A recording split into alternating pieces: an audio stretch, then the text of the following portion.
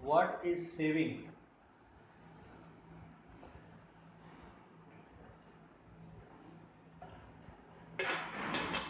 now when we do any economic activity you know that we have some income economic activity का definition ही आपने पढ़ा है कि any activity in which we get some income that is called economic activity जहाँ income नहीं है, वहाँ इकोनॉमिक एक्टिविटी नहीं है। ठीक है? जैसे हम अपने किसी रिश्तेदार के लिए कोई काम करते हैं, किसी की मदद करने के लिए कोई काम करते हैं, वहाँ में कोई इनकम नहीं होती। So that will not be called an economic activity economic activity का मतलब है कि वहाँ कुछ इनकम होना है। किसी को इधर टू मी और the other person so now when we have talked a lot about money and money which is generated from some income money आखिर कैसे बनता है? पैदा होता है। इनकम से। और इनकम कैसे पैदा होता है? सम इकोनॉमिक एक्टिविटी से। कोई हम अगर इकोनॉमिक का काम करते हैं we do some we do some service, we do some work, we do produce something then we get some resources or money in exchange of that. And thus we get money. And we have studied all about money. What are its functions? What is what can be called a money? What are different types of money used? What are uses of money? What are benefits of money? That we have studied. Now any ac- economic activity it creates some income that you know. And when we have income then we have also expenditure if we earn something then we spend also आखिर हम किस लिए कमाते हैं? हम कमाते किस लिए हैं? खर्च करने के लिए। ठीक है? इसलिए नहीं कि उसको तिजोरी में बंद करके रख देना है। तिजोरी में बंद करके रख देंगे तो उसका क्या होगा? There is no use of money if it is kept idle it is waste if money is put in something without any use then it is just like waste. It is of no use. आपके पास पैसा रखा हुआ है जिसको आप इस्तेमाल नहीं कर सकते हैं तो वो एक तरह से नहीं होने के बराबर। Because you not use it तो मनी का इंपॉर्टेंस यूज़ होने में ही होता है। बहुत बड़ी चीज़ है समझने के लिए कि मनी का जो है, वो इम्पोर्टेंस जो है, वो उसके यूज़ होने में है।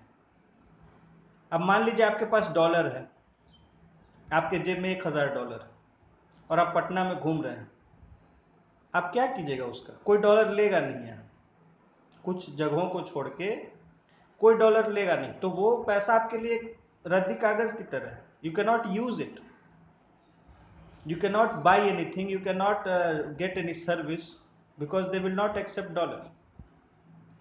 तो पैसा होते हुए भी वो आपके लिए वेस्ट है। So money's importance lies in being use उसी तरह नारायण मूर्ति ने एक बार कहा था कि the power of money is in giving it away money की जो ताकत होती है, जो पावर होती है, वो उसको किसी को देने में होती है। आप मनी अपने पास रखे हुए हैं, मेरे पास बहुत पैसा है। तो एक रिक्शा वाला बोलेगा कि मुझे क्या मतलब है? तुम्हारे पास बहुत पैसा है तो रखो अपना अपने पास। है? कोई भी बोलेगा कि ठीक है, आपके पास बहुत पैसा है तो उससे मुझे क्या है? मुझे क्या लेना देना है? हाँ जब मैं उसे किसी को दूँगा तो then he will be grateful कि अच्छा मेरा कोई भी प्रभाव तब मानेगा जब मैं पैसे को उसको दे सकता हूँ या दे दूँगा। नहीं तो जिसको पता है कि आप उसको कुछ देना नहीं है तो वो कहेगा फिर अपना रास्ता नापो भाई, मुझे क्या मतलब है तुमसे? जब तुम कुछ लेना देना है नहीं तो लोग तभी तक, आप कहते हैं कोई अमीर है। ठीक है, अब अंबानी के पास करोड़ों रुपया तो मुझे क्या मतलब अंबानी से? मुझे कुछ देने जा रहा है। लेट हिम हैव तो he just like ordinary man मेरे सामने कोई रिक्शा वाला खड़ा है, अंबानी खड़ा है, एक ही है।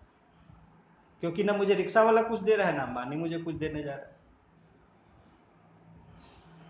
तो the power of money is in giving it away जब आप किसी को देते हैं, जिसको ज़रूरत हो तो then he feels obliged to you वो आपका आभार, एहसान समझता है। और वहाँ तो कहने का मतलब है, मनी की ताकत वहाँ है कि आपने किसी ज़रूरतमंद को दिया। उसकी मदद हो गई उस पैसे से। नहीं तो जिसके पास, जिसको कोई ज़रूरत नहीं है, उसके लिए पैसा बेकार है, कूड़े के बराबर है। क्योंकि उसको कोई ज़रूरत ही नहीं है उस पैसे का। तो the power of money is in giving it away in using it पैसा आपके जेब में रखा हुआ, घर में रखा हुआ, उसका वो बेकार है, ऐसे ही पड़ा हुआ है, उसका कोई यूज़ नहीं। हाँ उस पैसे को लेके आप बाज़ार जाइएगा खरीदने के लिए। देखिए, सारे दुकानदार आपके सामने लाइन लगा दें। अभी देखिए was just watching some scene from a movie in which there is a woman who is of मतलब she is poor she is a young woman unmarried and uh, she is with some rich person. And she goes to buy some dress वो उसको कहता है कि जाओ तुम कुछ अच्छे कपड़े खरीद लो। तो when she goes to buy a dress then all the shopkeeper turn her away कि जाइए जाइए you go away there is no dress for you seeing her dress she was not properly dressed तो then she goes and tells this man that they are not selling me dress they are bad to me तो he says कि shops are never good to people they are good to cards credit cards debit card what कहने का मतलब है कि shop जो हैं या बिजनेसेस जो है, वो लोगों से उनको कोई मतलब नहीं होता है। उनको मतलब होता है उनके पैसे से। तो ही सेज कि shops are never good to people they are good to cards credit cards और then he goes with him uh, her to the shop and tells the shopkeeper कि we want to spend a lot of money here buying some good dress for her so you better attend her and then all the मतलब दस बीस लोग उसको कपड़े दिखाने में लग जाते हैं ओके okay, सो so, कहने का मतलब है कि इट इज़ द मनी अब तो यहाँ तो मैंने आपको मनी का इंपॉर्टेंस समझा दिया कि मनी का इंपॉर्टेंस तब है जब आप उसको खरीदने गए, आप यूज़ करने गए। वो कहता है शॉपकीपर से कि मैं बहुत सारे पैसे खर्च करना चाहता हूँ इसके लिए ड्रेस खरीदने। तो then he sends all his staff to that woman की go and try to show her some dress she likes जितना पसंद करेगी उतना खरीद के ले जाए। देखिए, हम ही लोग जब जाते हैं अच्छे से ड्रेसअप होके कहीं मॉल में तो सारे जो स्टोर वाले होते हैं आ जाते हैं कि सर ये देखिए ये देखिए देखिए। Because they want to sell तो they understand that this person has some money and he will spend he will buy और आप चले जाइए बिल्कुल नॉर्मल ऐसे कुछ पहन के साधारण सा, और तो देखिए आपको कोई देखेगा भी नहीं, बोलेगा लगता है टाइम पास करने हैं। तो you know the importance of money but how will you have money how will you have money hmm? if you are earning and if you are spending जो आप कमा रहे हैं सब खर्च कर दे रहे हैं तो फिर पैसा आपके पास बचेगा कहाँ से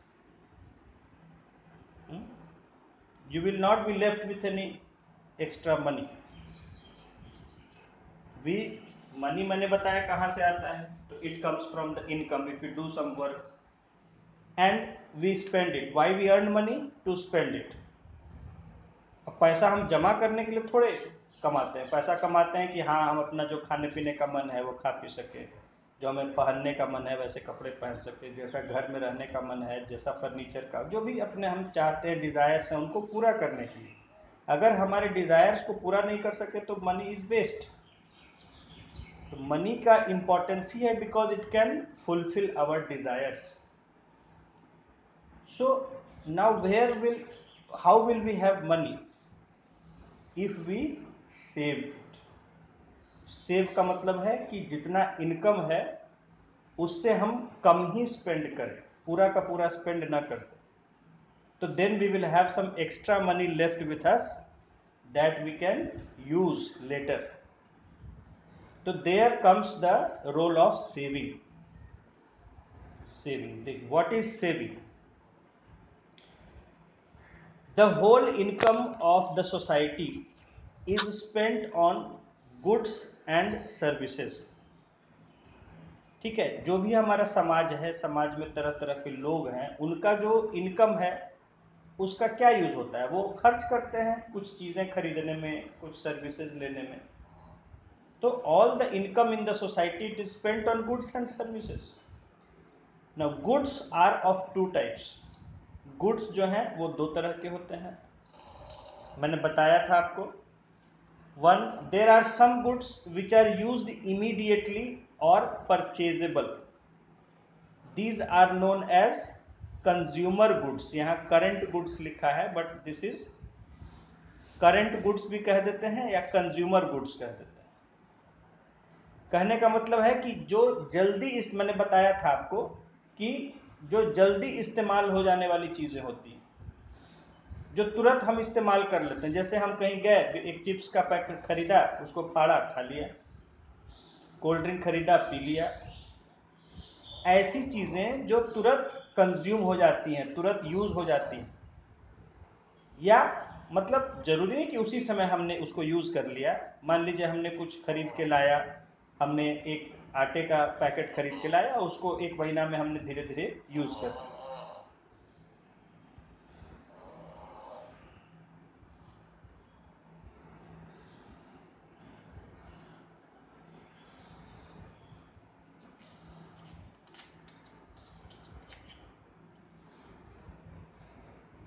हेलो?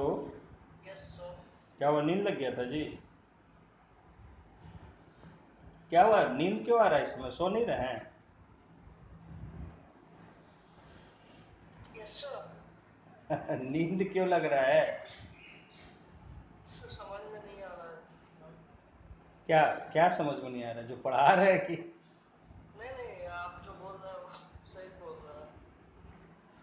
सो नहीं रहे टाइम से? नींद नहीं आ रहा टाइम पे।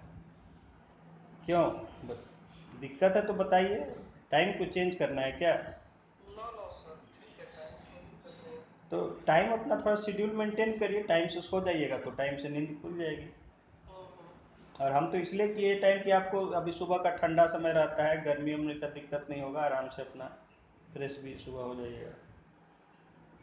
शांति भी रहता है इसमें। ठीक है ना समय ये? चलिए ठीक है। तो देखिए कि मैंने बताया कि जैसे एक आटे का पैकेट आप पाँच के जी आटा खरीद के लाए, उसको एक हफ़्ता चला, दस दिन चला, आपने यूज़ कर लिया। मतलब वो एक बार कुछ दिन में यूज़ हो गया और ख़त्म हो गया। फिर आप जाएँगे कुछ समय, जब ख़त्म होगा, फिर जाएँगे फ्रेश आटा का पैकेट खरीद के लाएँगे। तो ऐसी चीज़ें जो जल्दी इस्तेमाल हो जाती हैं या तुरंत भले चाहे वो एक बार इस्तेमाल होने वाली हो या कुछ समय तक इस्तेमाल होने वाली जैसे कोल्ड ड्रिंक है। अब कोल्ड ड्रिंक तो आप लेके खरीद के छोटा पैकेट है तो पी जाएँगे। बड़ा पैकेट है, एक लीटर, डेढ़ लीटर का तो वो तीन चार दिन चल सकता है। तो such goods which are use immediately और within a small period of time they are called as consumer goods और करंट गुड्स जो तुरंत इस्तेमाल हो जाते हैं। जो थोड़े समय के लिए इस्तेमाल होने के लिए हम खरीदते हैं। Now, second is there are some goods which are used in productive activity or over a long period of time. कुछ ऐसे चीज़ें होती हैं जो हम खरीदते हैं ताकि उसका या तो हम कोई तरह के काम में इस्तेमाल कर सके या लंबे समय तक जिसका इस्तेमाल हम कर सकें जैसे हम एक, भाई मैं कोई बिज़नेस कर रहा हूँ सपोज़ एक मिल्क सप्लायर है मिल्क सप्लायर है, दूध बेचना चाहता है काम तो उसने उसके लिए एक बाइक खरीदता है कि मैं इससे दूध सप्लाई करने का काम करूँ। तो वो बाइक इसलिए खरीदता है। वो बाइक खरीदता है कि हाँ मैं दूध का जो काम करूँगा तो ये मेरे बाइक जो है इस्तेमाल होगा, उसमें मदद करेगा ले जाने लाने में दूध। तो काफ़ी समय तक वो सोचता है कि कम से कम पाँच साल, दस साल तो ये बाइक मेरा काम करेगा। तो अब वो चाहे हम प्रोडक्टिव एक्टिविटी के लिए बाइक खरीदें या जैसे बच्चों को शौक होता है कि हाँ हम बाइक खरीदें तो वो अपने चलाने के लिए फन के लिए भी आ, अपने बाइक खरीदते हैं। तो वो भी जो बाइक है वो लंबे समय तक इस्तेमाल होता है कि पाँच साल हो सकता है छः साल हो सकता है दस साल हो सकता है या और ज़्यादा भी हो सकता है। हम एक टीवी खरीदते हैं। तो टीवी हम खरीदते हैं तो हम सोचते हैं कि हाँ ये कम से कम चार पाँच साल तो हम यूज़ करेंगे। हम फ्रिज खरीदते हैं, एसी खरीदते हैं, गाड़ी खरीदते हैं, फ्लैट खरीदते हैं। तो ये चीज़ें जो हम खरीदते हैं these are for long term use गाड़ी हम खरीदते हैं कि चलो भाई दस साल चलेगा। टीवी हम खरीदते हैं कि पाँच साल चलेगा। मकान खरीदते हैं, फ्लैट खरीदते हैं कि हाँ बीस साल, पच्चीस साल या पचास साल भी चलेगा। तो those goods which we use for a long period of time they are called as capital goods और ड्यूरेबल गुड्स। ड्यूरेबल यानी कि जो लंबे समय तक, ड्यूरेबल का मतलब होता है लंबे चलने वाले which work for a long period of time like bike car house TV fridge AC whatever such things तो इनको हम कहते हैं ड्यूरेबल गुड्स और कैपिटल। तो दो तरह के गुड्स हमने आपको पीछे बताया था capital goods and consumer goods capital goods जो लंबे समय तक इस्तेमाल होते हैं या किसी प्रोडक्शन एक्टिविटी के लिए इस्तेमाल हम करते हैं, हम मशीन खरीदते हैं, तरह तरह के अपने या कोई भी तरह का जो हम प्रोडक्शन एक्टिविटी में बहुत सारे चीज़ यूज़ करते हैं। तो वो भी कैपिटल गुड्स कहेंगे या हम अपने भी इस्तेमाल करने के लिए लंबे समय तक जिन चीज़ों को है तो उसको कैपिटल ना कह के ड्यूरेबल गुड्स कह देते हैं, जो लंबे समय तक चलने वाला है। जैसे आपको एग्जांपल दिया मैंने TV fridge AC house car bike और दूसरी तरफ़ हुआ करंट गुड्स या कंज्यूमर गुड्स जो तुरंत इस्तेमाल होने वाले चीज़ें हैं। Now the whole income of the society is spent on these two types of commodities तो समाज के जितने भी लोग हैं, उनका जो भी इनकम होता है, वो इन्हीं दो तरह की चीज़ों पर खर्च होता है। भाई, हम क्या करते हैं? अब मान लीजिए मेरा सेल, मैं जॉब करता हूँ, मेरी सैलरी है फिफ्टी थाउज़ेंड मंथ। तो मैं अपनी सैलरी से क्या खर्च करूँगा? मैं अपने खाने पीने का राशन खरीदूँगा खाने पीने की चीज़ें जो भी मन करेगा, कभी बाज़ार से कुछ खा लिया, अपने लिए कपड़े खरीदूँगा, अपने लिए टीवी वगैरह खरीदूँगा, अपने लिए फ्रिज, एसी खरीदूँगा, यही सब चीज़ें खरीदूँगा। कपड़े है राशन है, घर के इस्तेमाल होने वाली चीज़ें हैं, जो भी है। तो दे विल बी इधर कंज्यूमर गुड्स और durable goods so that part of total income which is spent on current goods और कंज्यूमर गुड्स इसको आप समझ लेंगे। Consumer goods is known as consumption तो जिन तो हमारे इनकम का वो हिस्सा जिसको कि हम कंज्यूमर गुड्स पर खर्च करते हैं। जैसे खाने पीने की चीज़ें हैं, राशन है, जो तुरंत इस्तेमाल हो जाने वाला चीज़, ऐसी चीज़ों पर हम जो भी खर्च करते हैं अपने इनकम का, उस इनकम के हम, उस खर्च को हम बोलते हैं कंजम्पशन कंजम्पशन मतलब हमारा इनकम का वो पैसा जो हम तुरंत यूज़ होने वाली चीज़, यानी कंज्यूमर गुड्स पर खर्च करते हैं, खाने पीने पे। कपड़ों पे। ठीक है? लेकिन कपड़े भी, अब आजकल तो शॉर्ट ही हम लोग का कपड़ा पहले होता था कि दस साल भी चल जाता था। आजकल के कपड़े तो एक आध साल चल जाए, वही बहुत है, फिर फ़ैशन भी चेंज हो जाता है, आदमी बोर भी हो जाता है, आजकल का लिविंग स्टाइल भी बहुत चेंज हो गया लोग एक कपड़े को बार बार नहीं पहनना चाहते हैं, और हम लोग को आदत है कि वही कपड़ा बार बार पहनना चाहते हैं। तो ये समय के साथ चेंज होता रहता है। जो है जैसे जैसे इकोनॉमी का चेंज होता है डेवलपमेंट होता है, लोगों का लाइफस्टाइल भी चेंज होता रहता है। अब हम लोग के जनरेशन में था कि हम लोग दस दस साल पंद्रह पंद्रह साल भी कपड़े पहन लेते हैं। आज के जनरेशन को कहिए, वो एक साल नहीं पहनना चाहेगा। क्योंकि तो इसको हम कहते हैं fast moving consumer goods consumer goods है, लेकिन अब वो फास्ट मूविंग हो गया। यानी पहले जो शर्ट हम दस साल तक सोचते थे, बढ़िया शर्ट पहने, बढ़िया शर्ट लिए तो दस साल तक चलाए, पाँच साल चलाए, दस साल चलाए। अब जो है वो होता है कि अरे भाई, एक साल पहन लेंगे बहुत। है फास्ट मूव कर रहा है, जैसे मोबाइल है। पहले लोग मोबाइल खरीदते थे तो ये सोच के खरीदते थे कि अब लाइफ में यही रहेगा मोबाइल। फिर धीरे धीरे हुआ तो मोबाइल का टाइम स्पेंड कम हो गया हो गया कि छः सात साल, पाँच साल। आज के डेट में मोबाइल का लाइफ क्या है? टू टू थ्री ईयर्स दो से तीन साल होता है, फिर वो मॉडल चेंज इतना हो जाता है नए नए आ जाते हैं तो लोग नया खरीद लेते हैं। तो जो एक समय ड्यूरेबल गुड्स था मोबाइल वो आज कंज्यूमर गुड हो गया है। फास्ट मूविंग कंज्यूमर गुड हो गया क्योंकि तरह तरह के इतने मॉडल आने लगे गाड़ियाँ भी आज ड्यूरेबल नहीं रही है। गाड़ियाँ भी लोग दो तीन साल में बदल लेते हैं। इतने नए नए मॉडल आ जाते हैं। मन करता है, अरे नया ये खरीद लो। कितने दिन तक वही पुराना मॉडल चला तो even the vehicles they are becoming consumer goods क्योंकि लोगों का लाइफस्टाइल चेंज हो चुका है पहले से। Anyway but as we are studying the economics so we will study that जो हम कंज्यूमर गुड्स पर जो भी खर्च करते हैं, अपने इनकम का, उसको हम कहते हैं consumption and that part of income which is spent on durable goods is known as saving यानी जो हम ड्यूरेबल गुड्स पर खर्च करते हैं या उसके लिए बचा के रखते हैं, उसको हम कहते हैं सेविंग यानी जैसे हमने क्या करते हैं कि अपना इनकम जो भी हमारा पचास हज़ार का मैंने बोला सैलरी है, उसमें दस हज़ार में हर महीने बचा के रख लेता हूँ कि हाँ भाई मुझे एक कार खरीदनी है, उस कार के लिए मैं पैसे बचा के रखता हूँ। तो वो दस हज़ार हर महीने मैं किसके लिए सेव करता हूँ? टू बाई अ कार या इनकम का दस हज़ार मैंने किस लिए इस्तेमाल किया? To buy a durable good और कैपिटल गुड जो बिज़नेस कर रहा है तो बिज़नेस इनकम का वो अपना कोई बड़ा, कोई कैपिटल क्रिएशन मान लीजिए कि कोई दुकान, होटल रेस्टोरेंट चला रहा है। अब उसको, उसके लिए कोई बड़ा स्टोव वगैरह खरीदना है मॉडर्न टाइप का, उसके लिए काफ़ी पैसा लगता है। तो वो सोचता है कि ठीक है, कुछ पैसा मैं अपना बचा के और फिर जब जमा हो जाएगा तो एक बड़ा स्टोव खरीदूँगा मॉडर्न जिससे मेरा रेस्टोरेंट मॉडर्न लगे।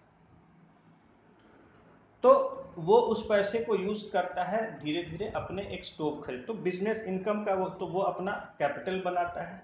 वो अगर स्टोव खरीदेगा तो उसका अगले पाँच साल, दस साल तक रेस्टोरेंट चलेगा अच्छे से। तो दैट इज़ वो उसका सेविंग हुआ, जिससे कि उसने अपना कैपिटल गुड्स खरीदा या ड्यूरेबल गुड्स हम खरीदते हैं, अगर अपना पर्सनल। तो thus it is clear that saving is the difference between income and consumption तो सेविंग क्या है? इनकम माइनस कंजम्पशन इनकम जो टोटल इनकम है हमारी, उसमें से जो हम रेगुलर यूज़ होने वाली चीज़ें खरीदते हैं, खर्च करते हैं, उस पर तो वो हमारा जब उसमें हटा देते हैं तो जो बच जाता है that we call as saving तो जैसे मैंने बताया कि फिफ्टी थाउज़ेंड अगर मेरी सैलरी है, उसमें फोर्टी थाउज़ेंड मेरा मंथली खर्च हो जाता है। जैसे मैं एक, आपको रफली एक दूँ कि मान लीजिए फिफ्टी थाउज़ेंड सैलरी है तो उसका फाइव टू सिक्स थाउज़ेंड वो रेंट पे करेगा। फैमिली है, बच्चे हैं तो उसका खाने पीने पर इन सब चीज़ों पर दस से पंद्रह हज़ार रुपये खर्च हो जाएगा। फिर बच्चे हैं, पढ़ने जाते हैं तो हर महीने उनकी फ़ीस देनी है तो चार पाँच हज़ार रुपये उस पर फ़ीस ट्यूशन जो भी है, उस पर चला जाएगा। फिर उसका अपना बाहर का कुछ खर्च है, उसमें पाँच हज़ार खर्च हो जाएगा। वाइफ है तो उसका अपना शॉपिंग ज़रूरत वगैरह जो है वो फाइव थाउज़ेंड खर्च हो जाएगा। ठीक है, फिर घर का ज़रूरत जो है, उसके अलावा जो मेंटेनेंस होता है, तरह तरह का पाँच हज़ार। तो कहने का मतलब उसका फोर्टी थाउज़ेंड जो है, वो आपका मंथली एक्सपेंसेस में तरह तरह का ख़त्म हो जाएगा। तो वो टेन थाउज़ेंड उसके पास बचता है, जिसको हम सेविंग कहेंगे। तो उसकी टोटल इनकम क्या हो गई? Fifty thousand. उसका कंजम्पशन कितना हो गया? Forty thousand. उसकी सेविंग क्या हो गई? Income minus consumption that is fifty thousand minus forty thousand that is ten thousand ठीक है क्लियर हो गया? Yes sir हाँ। तो सेविंग हम समझ गए कि जो हमारा इनकम होता है उसमें जो कंजम्पशन होता है उसको हम सब्ट्रैक्ट कर दें तो हमारा सेविंग और कंजम्पशन हम कहते हैं जो हम ऐसी चीज़ों पे खर्च करते हैं जो हम रेगुलर यूज़ जो होता है और ख़त्म हो जाता है। जैसे अब मान लीजिए कि जो है, मैं फिफ्टी थाउज़ेंड उसका सैलरी था, उसमें उसने बीस हज़ार का एक मोबाइल खरीद लिया। तो वो उसका कंजम्पशन नहीं कहा जाएगा, क्योंकि वो मोबाइल हर महीने नहीं खरीदता है। वो मोबाइल जो है तुरंत यूज़ होके ख़त्म होने वाली चीज़ नहीं है, बल्कि वो मोबाइल उसका अगले चार पाँच साल तक काम आएगा। तो वो उसको कंजम्पशन में हम काउंट नहीं करेंगे, वो उसका सेविंग में आ जाएगा, जो मोबाइल खरीदें। ठीक है? ना saving is of two types saving जो है, दो तरह का होता है। Number one saving in cash and number two saving in goods यानी कि जो सेविंग है, वो या तो आप कैश में बचा के रख सकते हैं या जो सेविंग है उसको आप गुड्स में बचा के रख सकते हैं। जैसे मैंने बोला कि जो उसका इनकम है फिफ्टी थाउज़ेंड, उसमें उसने खर्च किया तो या तो वो दस हज़ार कैश बचा के रख सकता है, चाहे अपने पास रखे या बैंक में रखे, कहीं रखे। तो अगर कैश यानी in in terms of money अगर वो बचा के रखता है तो उसको वो हो गया सेविंग इन कैश। अभी उसने मोबाइल खरीद लिया। बीस हज़ार का खर्च में से बचा के। तो वो उसका क्या हो गया? सेविंग इन गुड्स समझ में आई बात? अगर हम अपने पास कैश बचा के रखते हैं तो वो हमारा सेविंग इन कैश होता है। अगर हम उससे कोई ड्यूरेबल गुड्स खरीद लेते हैं, ताकि आगे उसका इस्तेमाल हम कर सकें तो दैट इज़ सेविंग इन वो भी सेविंग है।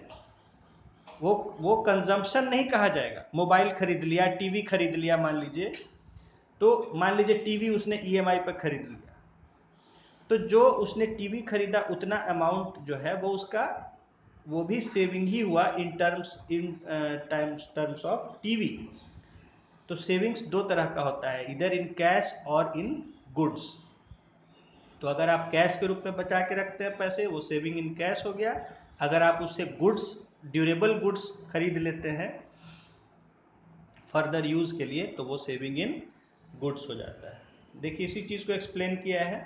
That part of income is known as saving in cash which is not spent on any type of commodities while ठीक है तो जिसको हम किसी तरह का कमोडिटीज़ नहीं खरीदने में इस्तेमाल करते हैं, उसको हम सेविंग इन कैश यानी कि फिफ्टी थाउज़ेंड है, दस हज़ार हमने उसमें कैश बचा के रख लिया सेविंग इन कैश हो गया।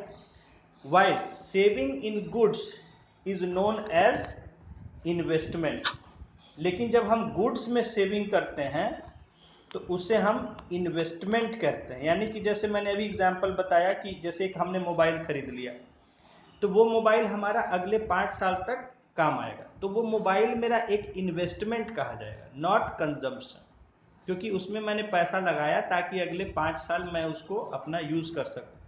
या कोई बिज़नेस कर रहा है तो उसने अपने रेगुलर इनकम में से कोई ऐसी चीज़ खरीद ली जो उसके काम आए। जैसे मान लीजिए कोई बाइक से बिज़नेस करता है, अभी मैंने बताया मिल्क सप्लायर है बाइक से। अब उसका बिज़नेस बढ़ गया है तो वो उसके लिए गाड़ी खरीद लेता है। तो गाड़ी खरीद लेता है तो वो उसका कंजम्पशन नहीं कहा जाएगा, बल्कि वो उसका इन्वेस्टमेंट कहा जाएगा, या सेविंग्स इन गुड्स कहा जाएगा। According to Crowther a man's saving is that part of his income which is not spent on consumption goods वही डेफिनेशन इन्होंने दिया है, जो अभी आपको समझाया गया, कि सेविंग हम किसी आदमी के उस इनकम के उस हिस्से को कहते हैं, जिसको कि वो अपना कंजम्पशन या कंज्यूमर गुड्स पर खर्च नहीं करता है। Economists are of the view that for development and stability of an economy saving and investment are equally important तो बहुत सारे इकोनॉमिस्ट्स ये बताते हैं कि किसी भी इकोनॉमी के डेवलपमेंट के लिए सेविंग और इन्वेस्टमेंट ये बहुत ज़रूरी है। ठीक है? यानी कोई इकोनॉमी है, अब आप इतना समझ चुके हैं कि इकोनॉमी में क्या होता है। इकोनॉमिक एक्टिविटी होता है प्रोडक्शन होता है एक्सचेंज होता है डिस्ट्रीब्यूशन होता है, फिर कंजम्पशन होता है। तो प्रोडक्शन भी होगा एक्सचेंज डिस्ट्रीब्यूशन होगा, फिर कंजम्पशन होगा फाइनली तो उसका डेवलपमेंट कैसे होगा? आप पहले पढ़ चुके हैं, जो आपने साइकिल देखा था, उसमें आपने देखा था कि जब सेविंग होगा, तब उससे कैपिटल क्रिएशन होता है कैपिटल फॉर्मेशन होता है। सेविंग से ही कैपिटल और कैपिटल फॉर्मेशन जब होता है तो उससे डेवलपमेंट होता है। उससे फिर प्रोडक्शन बढ़ता है प्रोडक्शन बढ़ता है तो इनकम बढ़ता है इनकम बढ़ता है तो सेविंग बढ़ता है सेविंग बढ़ता है तो कैपिटल बढ़ता है। तो इससे हम जो पहले देख चुके हैं कि सेविंग करने से ही इकोनॉमी का डेवलपमेंट होता है।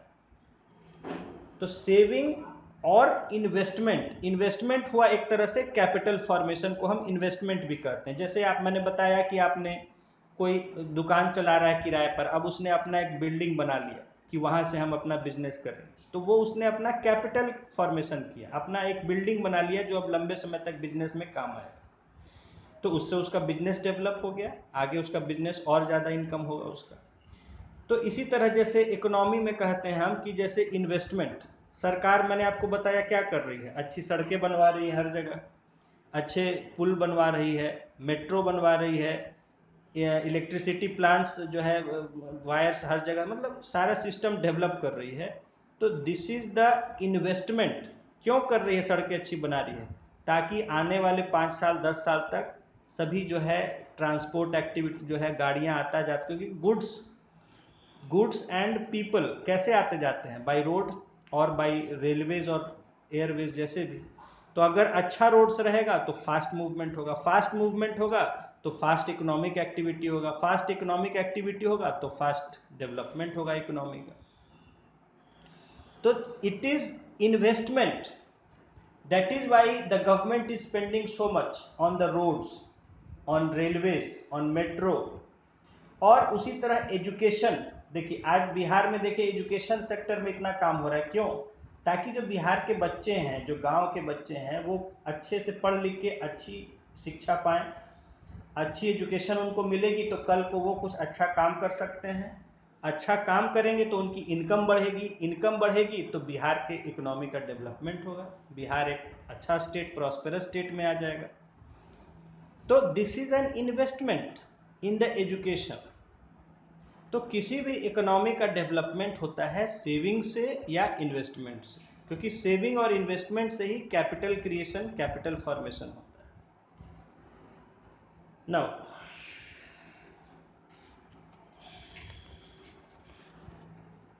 तो सेविंग आप समझ गए। Now next topic is credit credit credit का मतलब है, एक सिंपल मतलब है क्रेडिट का उधार। Now the meaning of credit is faith and confidence लेकिन क्रेडिट का जो है, अगर आप एक जनरल इकोनॉमिक्स में मतलब समझेंगे तो क्रेडिट का मतलब होता है विश्वास। ठीक है? क्रेडिट का मतलब होता है विश्वास। जैसे मैंने बताया कि आप कहीं आप बिज़नेस कर रहे हैं और आपको कहीं कुछ खरीदना है रॉ मटेरियल अपने लिए तो वो अगर जो रॉ मटेरियल का सप्लायर है, वो अगर आपको जानता है, आपसे फेमिलियर हो चुका है तो कहता है कि, सर, ठीक है, ले जाइए सामान। कुछ समय बाद जब आपको सुविधा होगा पेमेंट कर दीजिएगा। क्यों उसने अलाउ किया मुझे? क्योंकि he has the faith and confidence he trust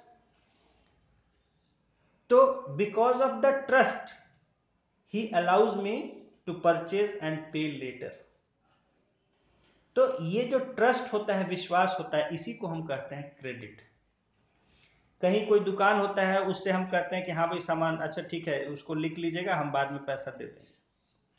तो वो हमें क्यों दे देता है? क्योंकि ही ट्रस्ट उसको विश्वास है, उसको फेथ है ही हैज़ कॉन्फिडेंस तो businesses are done on faith and confidence हमेशा कैश हैंड टू हैंड जो है, नहीं होता है काम।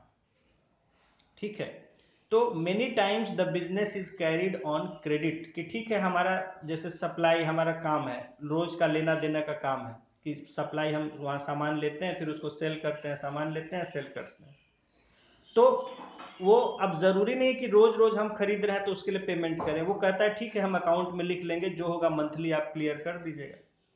वो कुछ डिपॉजिट तो बिकॉज़ ही हैज़ ट्रस्ट और ही टेक सम डिपॉजिट वो हमें कहता है कि कुछ आप डिपॉजिट कर दीजिए और फिर अपना बिज़नेस करते रहिए। हम लोग को बस अकाउंट में हम लोग लिख लिया करेंगे। जो मंथली होगा वो क्लियर हो जाया करेगा अकाउंट तो he allows to have that because because of the deposit he has the trust एक तो हुआ कि हम जहाँ पर्सनल एक्वेंटेंस है, जान पहचान है, वो जानता है कि हाँ ये यहाँ के रहने वाले हैं, यहाँ बिज़नेस तो वो हमें अलाउ करता है कि ठीक है सर, आप ले जाइए, जब होगा पेमेंट कर दीजिए। दूसरा है trust because of some deposit है ना, वो उसके पास हमारा कुछ पैसा डिपॉजिट होता है, वो जानता है कि भाई पैसा जमा है तो अपना ये कर लेंगे हिसाब। तो दिस इज़ कॉल्ड क्रेडिट तो ऐसे जनरली अगर कोई कहेगा क्रेडिट का मतलब उधार, लेकिन आप इकोनॉमिक्स में जब पढ़ेंगे, समझेंगे बिज़नेस में तो क्रेडिट का मतलब होता है the faith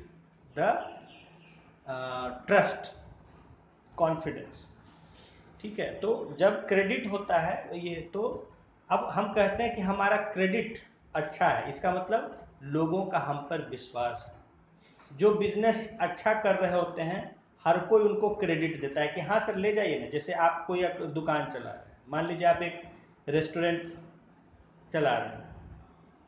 खाने पीने की चीज़ें वहाँ मिलती है। तो आप खाने पीने की चीज़ें खरीदते हैं तरह तरह का साग, सब्ज़ी, फल सब खरीदेंगे राशन। तो जो भी जिससे आप खरीदते हैं, वो कहे कि हाँ सर, ले जाइए ना पेमेंट कर दीजिएगा, हिसाब वो आपको लिख के, आपका लिख दिया है जो होगा। Everyone will supply why because they have faith in you they know that you are doing the business good and you will repay them on time. so that faith allows them to do the economic transaction without the payment of money. तो हम कहते हैं कि उस business का credit अच्छा है, क्योंकि लोगों को उस पर विश्वास है। अगर उस, क्या हुआ, उसका बिज़नेस चौक, मान लीजिए घाटे में जा रहा है, वो पेमेंट नहीं कर पा रहा है तो क्या होगा? He will lose his credit उसका विश्वास खत्म हो जाएगा। लोग कहेंगे, अरे भाई, तुम्हारा बिज़नेस ठीक नहीं चल रहा है, तुम पैसा नहीं लौटा पा रहे हो, भाई कैश दे के ले जाओ, ऐसे हम उधार नहीं दे पाएँगे। तो he will lose his credit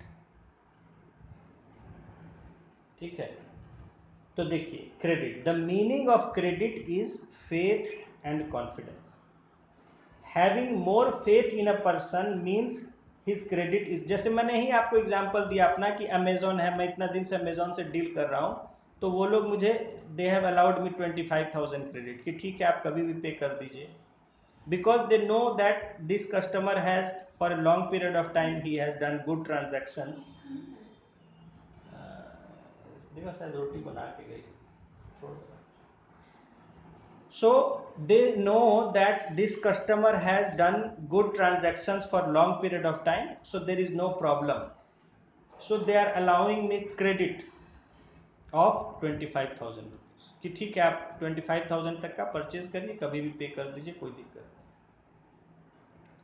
but if I purchase something and I do not repay in time then they will re, reduce the credit. I will lose the then they will allow से कि आप हो सकता है कम कर दें बोले नहीं टेन थाउज़ेंड ही करते क्योंकि इनका पेमेंट टाइम से नहीं आ रहा है। तो समझ रहे हैं क्रेडिट होता है विश्वास। जैसे हम लोग इसलिए हर चीज़ हम लोग मेंटेन करते हैं कि नहीं टाइमली पेमेंट होना चाहिए। चाहे वो हमको करना है चाहे दूसरे को करना है। बिकॉज़ वहाँ क्रेडिट जो है, विश्वास जो है, वो फिर कम होना। आप टाइमली पेमेंट नहीं करेंगे तो फिर विश्वास अगले आदमी का कम हो जाता है कि भाई ये लगता है करेगा कि नहीं करेगा, क्या करेगा टाइम से नहीं करता है। और आप जानते हैं आजकल का तो इतना टाइट हो गया है इकोनॉमी हमारा कि इतना लेट फ़ीस बहुत ज़्यादा होता है। क्रेडिट कार्ड आपको सारे, देखिए ऑफ़र कर रहे हैं बिज़नेस मार्केट आप जाइए बाहर क्रेडिट कार्ड आपको टेलीफोन कर करके देगा कि ले लीजिए क्रेडिट तो क्रेडिट कार्ड देने के लिए क्यों परेशान है? क्योंकि वहाँ जब तक आप टाइमली पेमेंट कर देते हैं, तब तक तो बहुत अच्छा है। आपको भी फ़ायदा है। लेकिन जहाँ आप लेट हुए, एक दिन भी लेट हुए, आप पर हैवी फाइन लगा दिया जाता है। और तब आपको लगेगा कि अरे बेकार की क्रेडिट कार्ड लेके तो झमेला हो गया, इतना ज़्यादा जितना हम सामान नहीं खरीदे और उसका इतना पैसा तो हम फाइन में ही दे रहे तो that is why late payment is a very bad thing आज के समय में क्योंकि बहुत ज़्यादा फाइन होता है। एक दिन भी टाइम अगर शाम के पाँच बजे तक करना है, पाँच बजे तक नहीं किए तो you will have to pay fine तो क्रेडिट आप समझ गए, विश्वास होता है। देखिए having more faith in a person means his credit is more जिस पर ज़्यादा विश्वास है, उसका ज़्यादा क्रेडिट है। In economics, credit means faith in ability of payment of debt. Economics में क्रेडिट का मतलब होता है faith in the ability of payment of debt यानी कि हम उधार देते हैं कब? जब हमें विश्वास होता है कि वो उधार हमारा पैसा चुका दिया जाएगा। We say that if the credit worthiness of arun is more in market this means that people have more faith in the ability of debt payment. अगर एक पर्सन अरुण हम कहते हैं he is very credit worthy मतलब उसका बहुत market में credit है। क्रेडिट क्यों है? क्योंकि मार्केट में जो भी लोग बिजनेसेस हैं, उनका विश्वास है कि अरुण अपना अगर कोई लेगा उधार तो हमें चुका दे। अगर मेरा मार्केट में अच्छा क्रेडिट है तो मैं कहीं भी जाऊँगा, बोलेंगे हाँ सर, ले जाइए। अपना दे दीजिएगा टाइम जब हो बिकॉज़ द ट्रस्ट और अगर मैं गड़बड़ करता हूँ तो वो ट्रस्ट चला जाएगा और वो फिर हमारा क्रेडिट नहीं देंगे। Then I will have to deal in cash तो देखिए, आप कहीं नए दुकान पे जाते हैं तो वो कैश लेगा आपसे। थोड़े आपको क्रेडिट पे देगा। लेकिन जहाँ आपकी जान पहचान है, काफ़ी समय से आप डील कर रहे हैं तो वो आपको क्रेडिट पर इजिली दे देते हैं।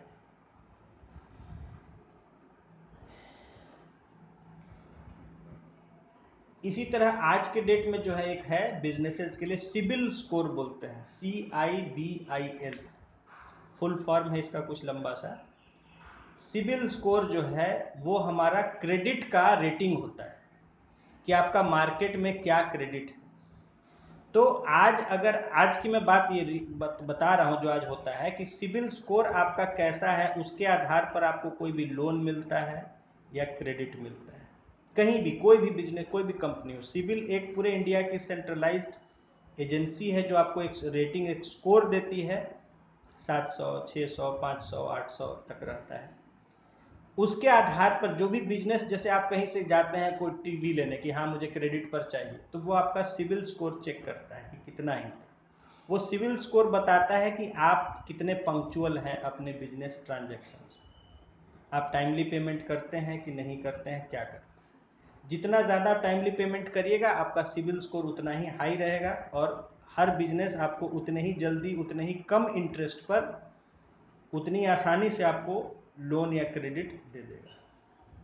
और जहाँ आपका सिविल स्कोर कम रहेगा तो वहाँ आपको जल्दी लोन नहीं मिलेगा या लोन मिलेगा तो कम मिलेगा या मिलेगा तो ज़्यादा, बहुत ज़्यादा इंटरेस्ट रेट आपको उस पर देना पड़ेगा।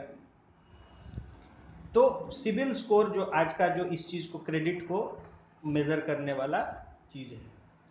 तो आप कहीं भी जाते हैं, कोई ईएमआई e पर लेते हैं या कहीं कोई लोन पर लेते हैं, कहीं लोन के लिए अप्लाई करते हैं तो वो आपका और वो आपके पैन कार्ड वगैरह से लिंक्ड होता है सारा जब वो डालेंगे आपका पैन का इन्फॉर्मेशन वगैरह, या आप ऐसे भी चेक कर सकते हैं सिविल स्कोर तो जितना सिविल स्कोर आपका अच्छा होगा, उतना आसान कंडीशंस पर आपको लोन या कोई सामान खरीदना है ईएमआई e ये सब, बेहतर मिल जाता है। और जितना आपका ख़राब है सिविल स्कोर तो आपको आपको लोन मिलेगा नहीं क्रेडिट मिलेगा नहीं या मिलेगा तो आपको इंटरेस्ट रेट काफ़ी हाई उस पर तो वही क्रेडिट का यहाँ है, हमने बता रहे, आपको करंट का बता दिया। On the basis of his credit worth credit worthiness he credit को, बल्कि आपका बाज़ार में कैसा है, उसी को क्रेडिट वर्दिनेस कहते हैं। On the basis of this credit worthiness each person or institution gives credit to another person or institution. तो इसी क्रेडिट वर्दिनेस यानी कौन किसका क्रेडिट कितना है, उसको देखते हुए ही कोई भी आदमी या कोई इंस्टीट्यूशन जैसे कोई बैंक कंपनी दूसरे पर्सन या बैंक कंपनी को लोन या क्रेडिट देती है। जिसको मैंने बताया कि आज उसको हम सिबिल स्कोर कहते हैं, इसी क्रेडिट वर्दिनेस को। अकॉर्डिंग टू गिडे गिडे ये भी प्रोफेसर हैं इकोनॉमिक्स के, ये कहते हैं credit is an exchange which is complete after the expiry of a certain period of time after payment credit जो है वो एक एक्सचेंज है, जो कि तब पूरा होता है जब जो है पेमेंट हो जाने का कुछ समय खत्म हो जाता है। पेमेंट पूरा हो जाने के बाद कुछ समय बीत जाता है, तब उसको हम क्रेडिट कहते हैं कि कम, एक कंप्लीट हो गया। जैसे कि मैंने कोई, आप जानते हैं हर सीज़न में आता है हाँ भाई ईएमआई e पर एसी ले लीजिए। मान लीजिए मैं गर्मी था एसी जाके ले आया, एक पचास हज़ार रुपये का एसी ले लिया, और उसको ईएमआई पर लिया है मैंने कि ठीक है फाइव थाउज़ेंड का ईएमआई है तो जो भी दस ग्यारह ई में पेमेंट मैं उसका कर दूँगा। तो ये एक क्रेडिट मैंने स्टार्ट किया, लिया। ये कंप्लीट कब होगा? जब मैं उसका पूरा दस ग्यारह ई पेमेंट कर दूँगा और उसके बाद कुछ पीरियड बीत जाएगा, यानी कि कोई गड़बड़ी नहीं हुआ, सब कुछ ठीक से सेटल हो गया तो वो क्रेडिट कंप्लीट हो जाएगा। यानी जो क्रेडिट हमने स्टार्ट किया था, वो कंप्लीट हो गया। तो जो व्यक्ति ने, मान लीजिए मैं आदित्य विजन से पटना में यहाँ लिया तो आदित्य विजन ने वो क्रेडिट मुझमें एक प्रोवाइड किया और फिर वो ख़त्म हो गया। उसका विश्वास पूरा हो गया। जब पैसा मैंने उसको पूरा दे दिया, उसका विश्वास फिर से मज़बूत हो गया कि हाँ भाई, इन्होंने क्रेडिट लिया और उसको कंप्लीट कर दिया। तो आगे भी इनको आसानी से, बल्कि और बेहतर दिया जा सकता है। जैसे मैंने बताया कि अमेज़ोन है। अब मुझे कहता है, और ले लीजिए, और ले लीजिए। आपका क्रेडिट बहुत अच्छा है। आप टाइमली पेमेंट कर देते हैं। तो टाइमली पेमेंट देखिए, मैं इसलिए आपको भी ज़ोर देता हूँ कि टाइमली पेमेंट करने से हम सबका रिकॉर्ड अच्छा रहता है। जैसे देखिए, हम लोग जिस तरह से स्कूल में हमें सिखाया जाता है, अभी भी देखिए, हम मैडम को बोलते हैं टाइम आज दस मिनट लेट कर दी। डांटे हम कि, कहा है दस मिनट लेट कर दी? अच्छा I I never like to be late nor myself और any person that I know school में सिखाया कि नहीं never be late be on time I try to follow that हो जाता है कई बार but it's not good to be late तो जिस तरह एक वहाँ होता है कि आपको लेट नहीं होना है, उसी तरह ये बिज़नेस में है इकोनॉमिक्स एक्टिविटी में है कि आपको पेमेंट भी उसी तरह टाइमली करना चाहिए. It is a matter of habit and you get respect अगर आप लेट हर जगह करेंगे तो you will lose your respect people will not give you credit और जहाँ आपका रेस्पेक्ट है तो पीपल ठीक है भाई, कोई बात नहीं. तो क्रेडिट उसी तरह से इकोनॉमिक्स में है कि टाइमली पेमेंट से हमारा क्रेडिट अच्छा रहता है। हमारा रेपुटेशन अच्छा होता है, हमारा सिविल स्कोर अच्छा रहता है। तो आगे हमें कोई भी ट्रांजैक्शन करना है वगैरह में बड़ी सुविधा होती है। Anyway now there are two sides of credit अब जब भी कोई क्रेडिट होता है तो उसके दो पक्ष होते हैं, दो साइड होते हैं। क्या क्या number one is creditor number two is debtor तो क्रेडिट यानी कोई भी क्रेडिट हुआ, उधार लिया गया तो दो पक्ष होते हैं, एक जो उधार देने वाला है, दूसरा जो उधार लेने वाला है। तो जो उधार देने वाला है, वो क्रेडिटर हो गया, जो उधार लेने वाला है, वो डेटर हो गया। क्रेडिटर या क्रेडिट और डेट होता है तो जो क्रेडिट दिया, वो क्रेडिटर हो गया, जो डेट लिया, वो डेटर डेट का मतलब होता है उधार, कर्ज। क्रेडिट का मतलब होता है जिसने उधार दिया। लोन तो क्रेडिट के दो साइड हैं, जिसने दिया, जिसने लिया। जिसने दिया, उसने क्रेडिट किया, यानी क्रेडिटर जिसने लिया, उसने डेट लिया, कर्ज लिया, हो गया debtor creditor gives money and goods on credit and payment is deferred तो जो क्रेडिटर है, वो हमें पैसा चाहे तो दे लोन के टर्म्स में, या गुड्स दे, सामान बेचे। On credit and payment is deferred payment is deferred मतलब पेमेंट आगे के लिए टाल दिया जाता है कि ठीक है, आगे हम समय में दे देंगे। उस समय नहीं किया जाता है। This is done on the basis of faith ये किस पर होता है? विश्वास पर होता है। चाहे वो विश्वास आपके, जैसे आप कहीं जाते हैं तो आपका वो कहते हैं बैंक स्टेटमेंट ला के दीजिए, आधार ला के दीजिए पैन ला के दीजिए तीन चीज़ ज़रूरत होती है। आपका आधार तो उससे आपका एड्रेस वगैरह सब वेरीफाई हो जाता है, आपका आइडेंटिटी वेरीफाई हो जाता है। आपका पैन उससे आपका बैंक अकाउंट वेरीफाई हो जाता है।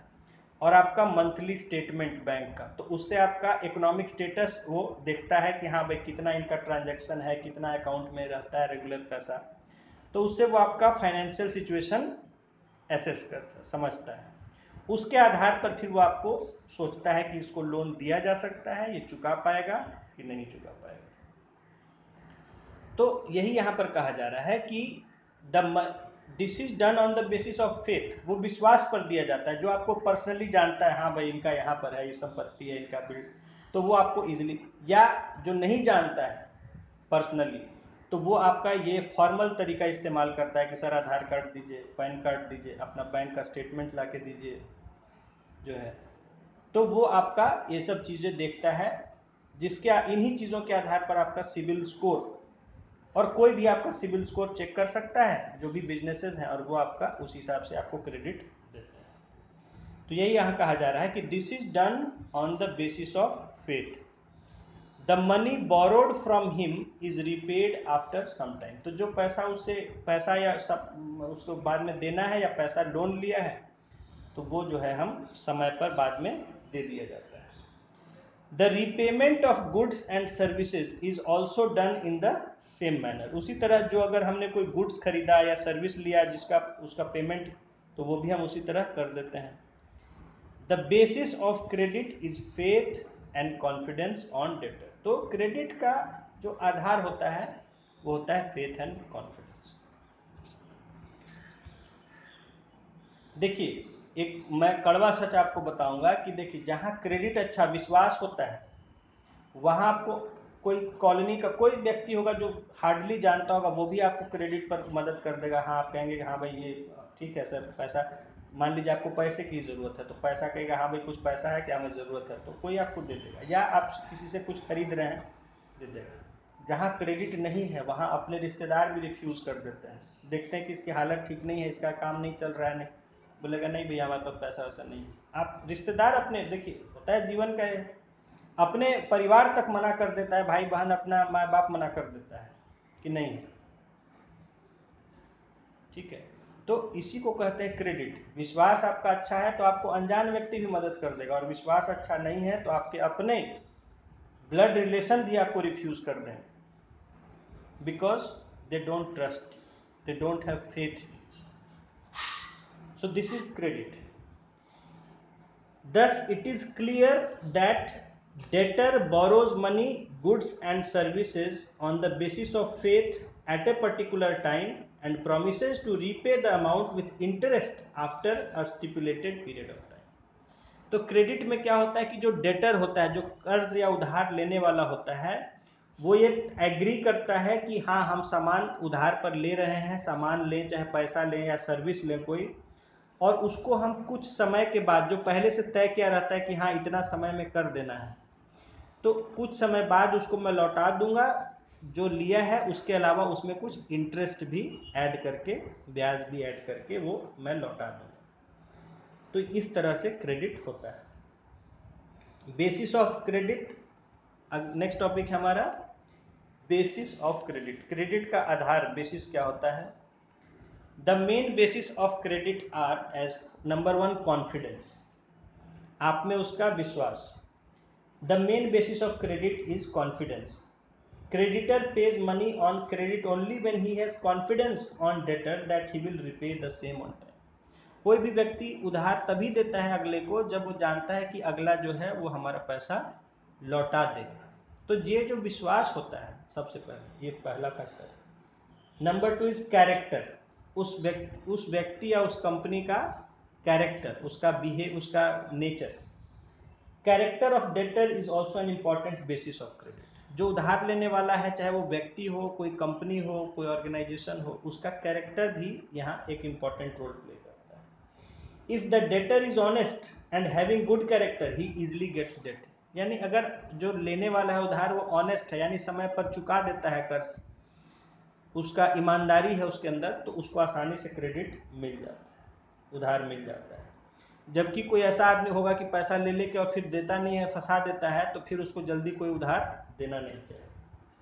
The credit worthiness of characterless people is low and nobody wants to give them debt जो जिसका कैरेक्टर नहीं है, जो अपना ईमानदारी नहीं रखता है, जो अपना व्यक्तित्व चरित्र नहीं रखता है, उसको कोई भी पूछता नहीं है, कोई उसको उधार नहीं मैंने बोला, अभी आपको समझाया इसी बात को।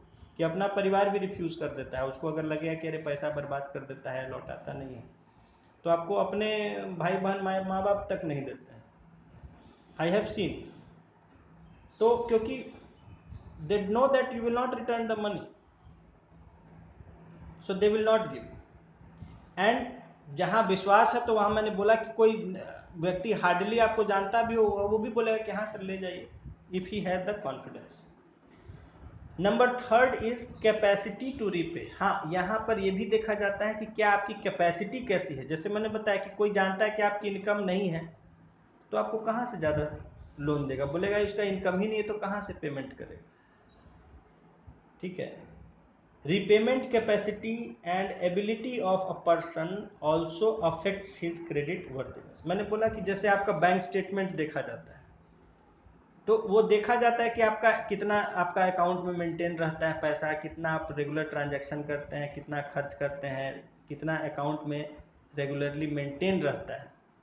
तो वो आपका रीपेमेंट एबिलिटी दिखाता है कि हाँ आप इतना पैसा अफोर्ड कर पाएँगे मंथली पेमेंट करना कि नहीं कर पाएँगे। देखिए तो repayment capacity and ability of a person also affects his credit worthiness credit advance creditor advances money और debt only when he has confidence on repayment capacity of the person कोई भी हमें एडवांस या लोन तब देता है जब वो जानता है कि हाँ हम चुका पाएँगे क्योंकि हमारी इनकम है। So repaying worthiness of characterless people is low and nobody wants to give them debt तो यहाँ भी वही कहने का मतलब है कि जो कैरेक्टरलेस है या जिसको इनकम नहीं है, अब परेशानी क्या है? गरीब आदमी है, किसान है, जाता है, उधार मांगने कोई नहीं देना। वो जानता है कि पता नहीं इसका फ़सल रहेगा, नहीं रहेगा, कहाँ से चुकाएगा। तो कोई उसको कर्ज नहीं देना चाहता। एक बड़ा, देखिए माल्या लोग को हज़ारों करोड़ रुपया मिल जाता है उधार आसानी से। क्यों? वो जानते हैं इतना बड़ा बिज़नेस है, चुका देगा इतना जो पैसा लेके भागे हुए हैं तो भागे हुए उनको पैसा इतना कैसे दे दिया बैंकों ने इस पर भी सवाल उठाया जा रहा है, क्योंकि उन्होंने विश्वास से ज़्यादा पैसा दे दिया, जितना मिलना चाहिए था, देना चाहिए था, एक हज़ार करोड़ दे दिया, पाँच हज़ार करोड़। तो उन पर भी सवाल उठा कि आपने कैसे लिमिट से ज़्यादा उनको दे दिया पैसा? तो अब आप ही पर बोझ पड़ गया, अब बैंक डूबे तो उन पर लोन आ गया कि आपका पाँच हज़ार करोड़ पैसा फंसा हुआ है, अब लाइए कहाँ से लाते हैं? जिसके कारण बहुत से बैंक जो है वो बंद हुए या बहुत सारे बैंक को मर्जर करना पड़ा, मिलाना पड़ा दूसरे बैंकों में ताकि वो चल सके। क्योंकि उन्होंने हिसाब से ज़्यादा पैसा दे दिया, बिना चेक किए प्रॉपरली और वो फंस गया पैसा वहाँ। और पैसा तो सारा काम तो पैसे पर होता है, पैसा जहाँ फंसा मतलब आपका बिज़नेस डूब गया बैंक डूब जाएगा। एनीवे नेक्स्ट इज़ फिर रिपीटिशन है कैपेसिटी टू रीपे ये रिपीट हो गया। Next number five is period of loan. Period of loan, यानी कि कितने समय के लिए उधार दिया गया। The amount of loan also depends on the period of loan तो कितने समय के लिए आप उधार ले रहे हैं, उस पर भी डिपेंड करता है कि कितना आपको अमाउंट दिया जा सकता है। Creditors hesitate in advancing loan for a long period because of the change in character economic situation and capacity to pay कोई भी बहुत लंबे समय के लिए उधार नहीं देना चाहता। क्योंकि उसको डर होता है, पता नहीं कल को इसका हालत कैसा रहेगा या बाज़ार कैसा रहेगा। ठीक है तो लंबे समय के लिए जल्दी कोई लोन नहीं देना चाहता।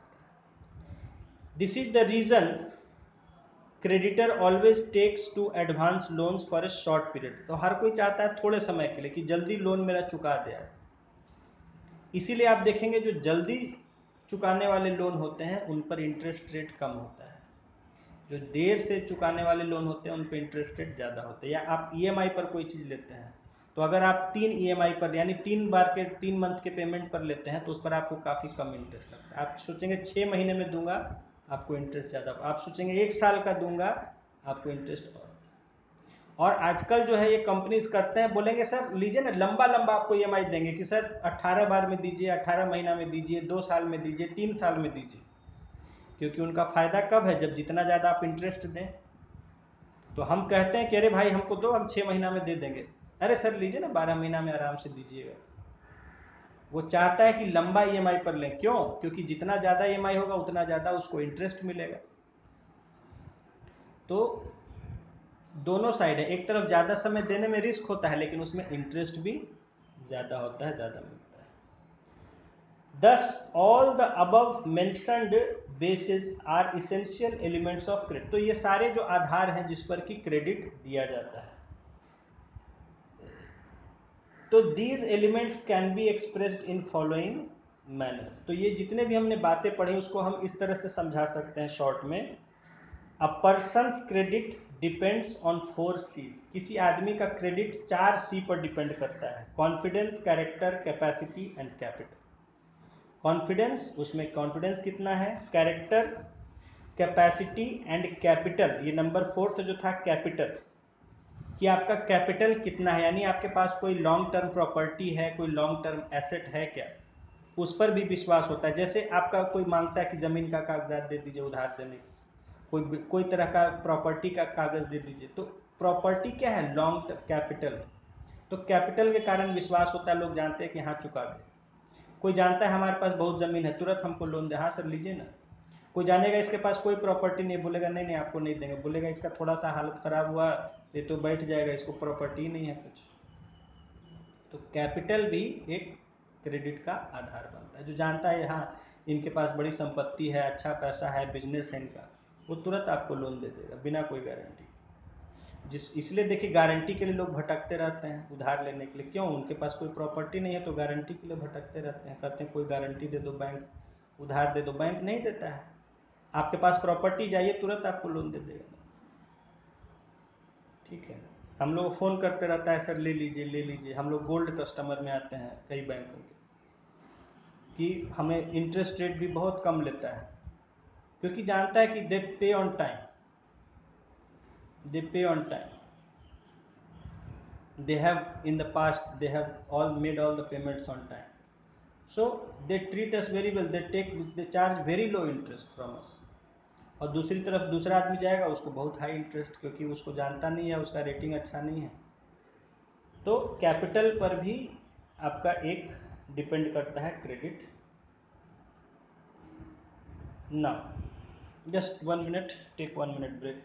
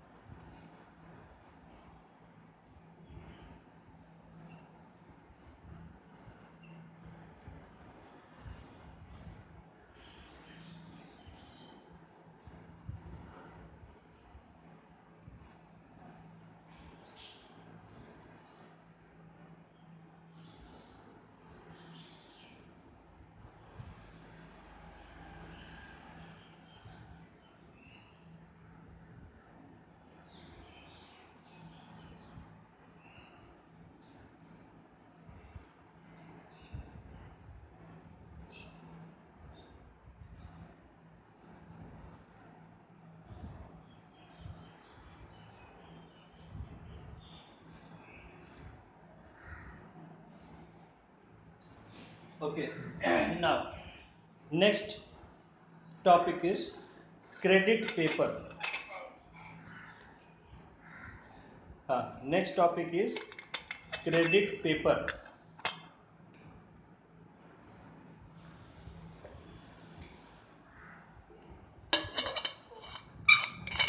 देखिए क्रेडिट पेपर छोटी छोटी चीज़ें हैं थोड़ा सा समझना है बस देखिए credit paper relate to all those resources which are use as credit money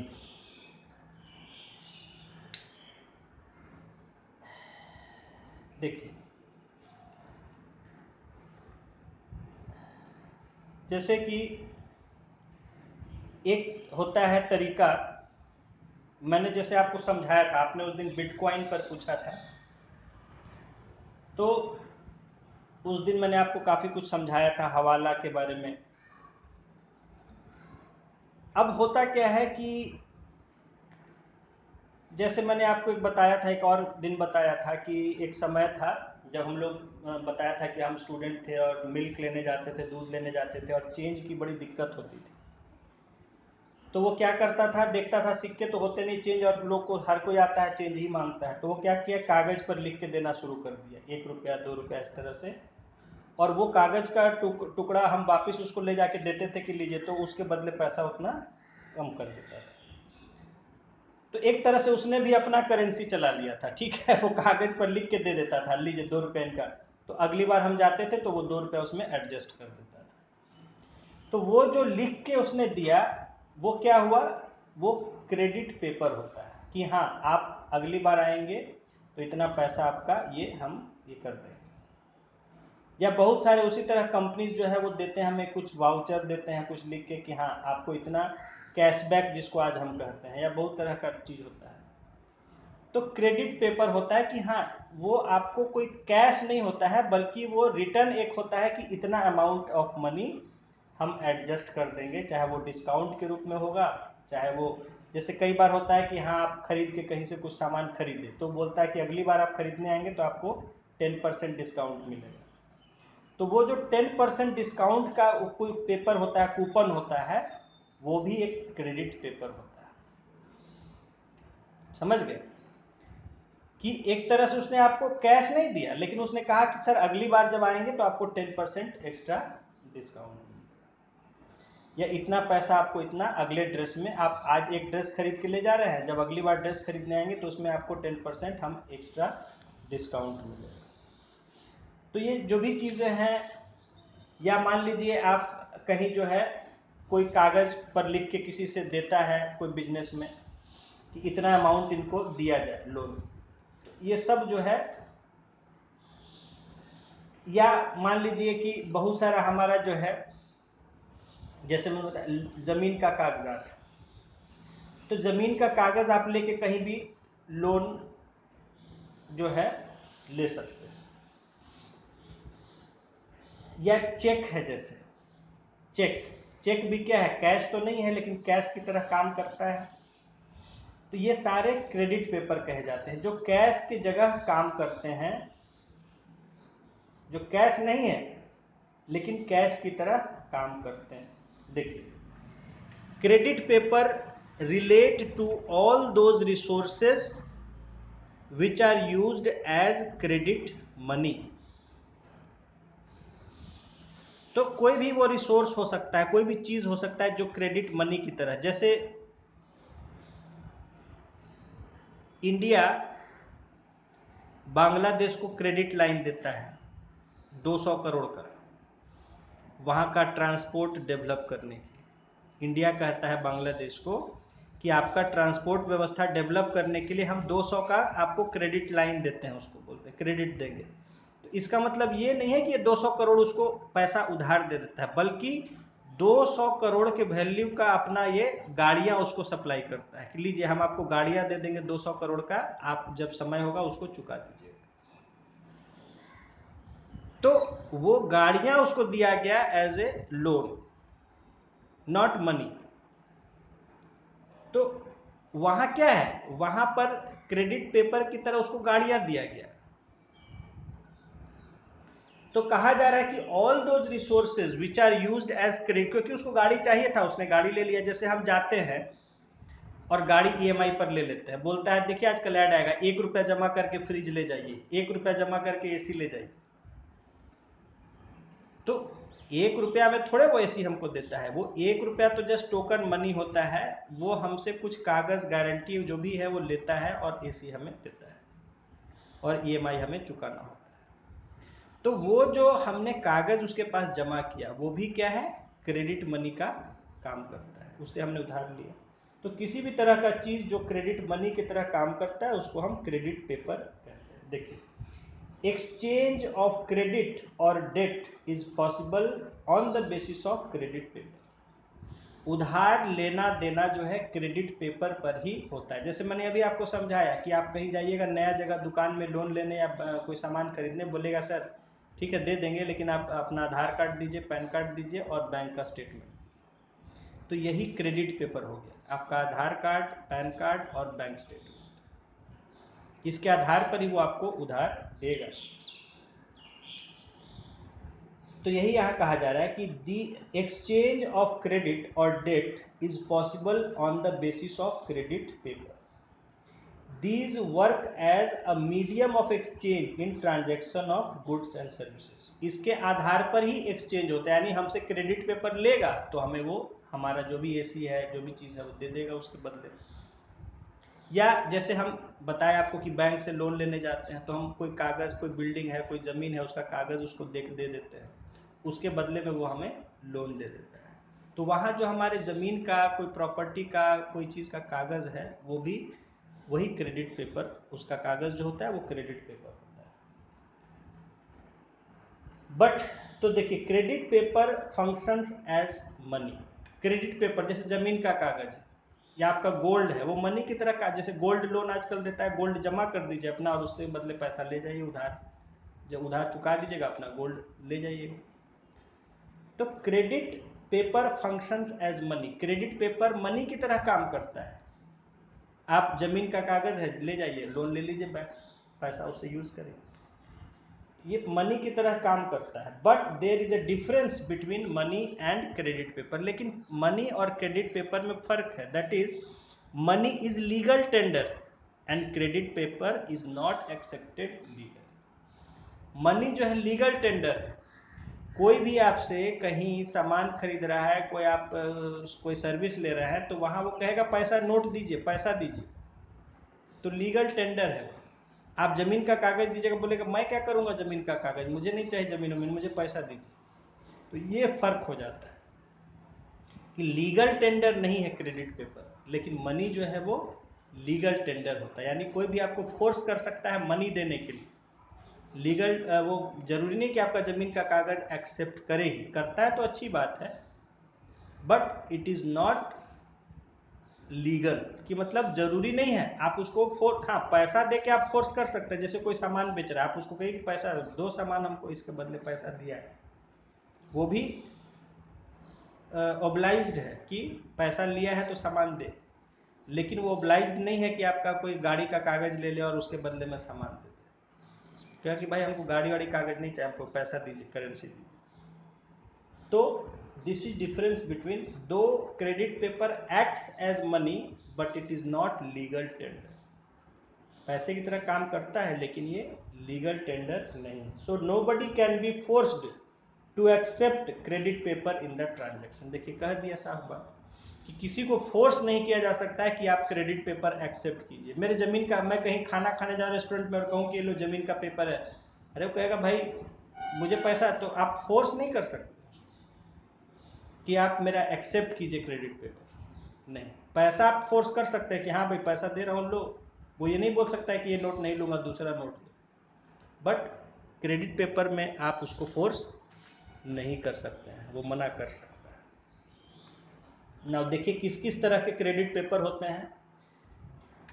These are of various types कई तरह के होते हैं। क्या क्या है? नंबर वन चेक जो सबसे ज़्यादा इस्तेमाल होता था, आज तक वो था चेक जानते हैं।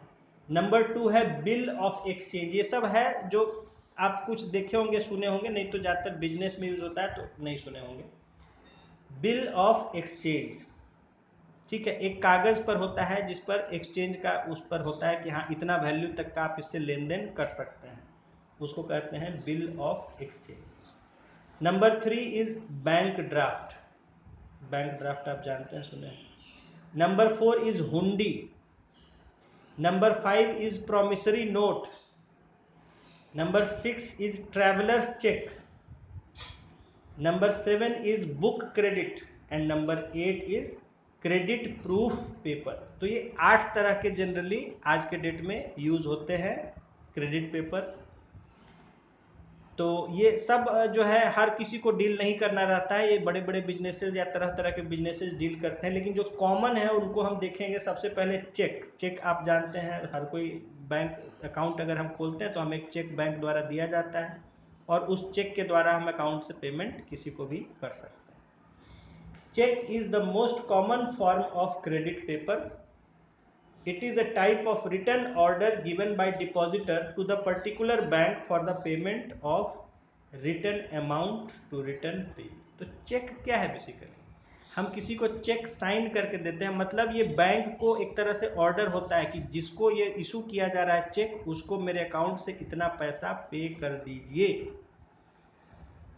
चेक का क्या मतलब होता है? चेक का यही मतलब होता है जब आप उसको साइन करते हैं चेक तो it is a return order to the bank in which you have account to pay the return sum of money to the person who is given the cheque ठीक है by the bank the format of cheque is shown एक cheque का format आपको दिखाया गया है. Union bank of India का एक चेक है। पिंक कलर का। तो आप देख सकते हैं। तो इस तरह से चेक होता है, जिसमें हमें अकाउंट नंबर अपना मेंशन होता है हमारा। हम उसमें अमाउंट ऑफ़ अमाउंट लिखते हैं और उस पर अपना साइन करते हैं। ठीक है? तो ये जनरल एक चेक हुआ, बाकी चेक भी कई तरह के होते हैं बट इन जनरल एक चेक का फॉर्मेट है। Number two is bank draft ये थोड़ा टाइपिंग मिस्टेक है। नंबर टू बैंक ड्राफ्ट कि bank draft is a paper which is an order of a particular bank to its other branch or other bank for the payment of return amount to indicated person concern bank draft क्या होता है? देखिए check जो था, वो हमारा order होता है बैंक को, जिसमें हमारा अकाउंट है। ठीक है? कि इतना पैसा इसके, इस आदमी को दे दिया जाए। या कोई दूसरा बैंक को भी तो वो उस हमारे बैंक से वो उतना पैसा कल करके उसको दे देता है। नंबर टू है बैंक ड्राफ्ट बैंक ड्राफ्ट क्या है? एक बैंक के द्वारा दिया गया ऑर्डर होता है किसी भी अपने दूसरे ब्रांच को या दूसरे बैंक को कि जो आदमी है जिसके पास ये बैंक ड्राफ्ट है, उसको इतना पैसा जो है दे दिया जाए। ये बैंक का ऑर्डर होता है। ठीक है bank draft is a paper which is an order of a particular bank जो जिस बैंक से हम ड्राफ्ट बनवाते हैं, वो हमारे नाम से वो ड्राफ्ट बनाता है तो वो हम चाहे उसी बैंक के दूसरे ब्रांच में चले जाएँ या किसी और बैंक में कहीं भी चले जाएँ, वहाँ वो बैंक ड्राफ्ट को क्लियर कर देता है, उतना पैसा दे देता है। तो bank draft is an order of a bank to its other branch or other banks for payment of the return amount to indicated person जिसके लिए दिया गया है, उसको उतना दे देना होता है। It is less costly to transfer from one place to another through bank draft bank draft के ज़रिए पैसा ले जाना एक जगह से दूसरे जगह कम खर्चीला होता है। Bank draft is of two types that is national and bank draft दो तरह के होते हैं नेशनल इंटरनेशनल अगर आपको देश से बाहर ले जाना तो उसका अलग ड्राफ्ट होता है। देश के अंदर काम करना है तो the format of bank draft is shown in figure three point देखिए नीचे स्टेट बैंक ऑफ़ इंडिया का एक बैंक ड्राफ्ट का फ़ोटो दिखाया गया है। Number three is travellers cheque ये भी एक तरह का कॉमन यूज़ होता है। जब लोग ट्रेवल करते हैं तो होता क्या है कि जब ट्रैवल कर रहे हैं तो ऐसे में कहीं दूर हम मतलब या तो हम घूमने गए हैं।